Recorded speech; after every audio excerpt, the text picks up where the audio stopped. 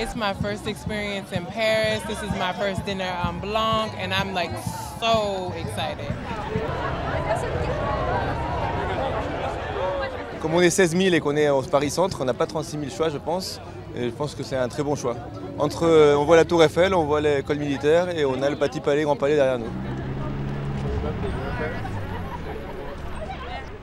C'est complètement atypique. On se retrouve avec des gens qu'on ne connaît pas, on est très nombreux. Alors moi j'avais quand même une petite appréhension.